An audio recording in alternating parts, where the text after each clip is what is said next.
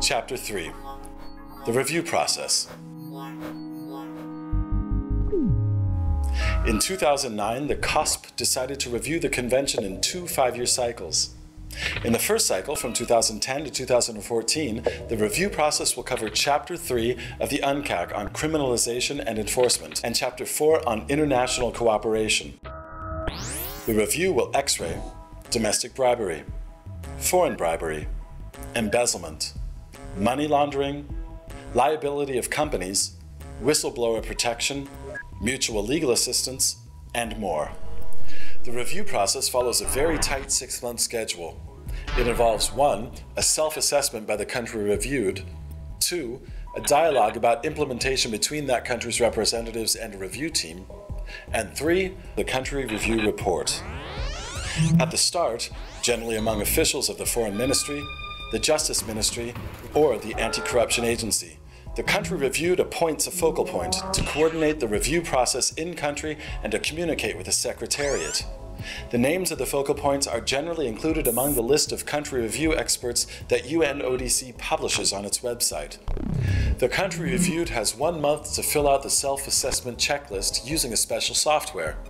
Governments are given the option to publish the checklist by ticking a box on the first page of the software.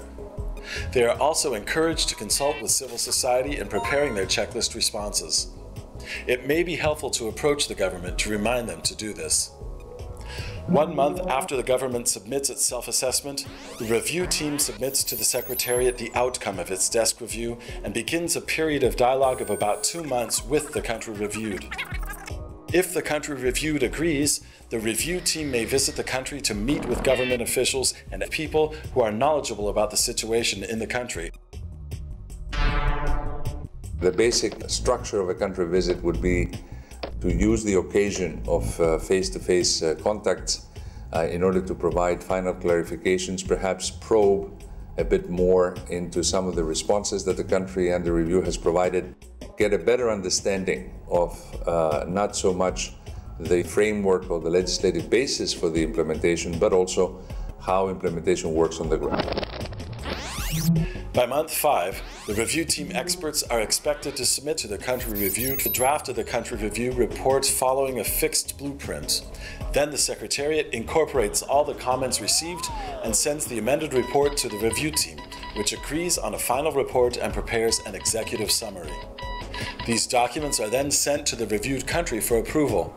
In case of disagreement, the rules require a dialogue between the reviewed country and the review team to arrive at a consensual final report and its executive summary.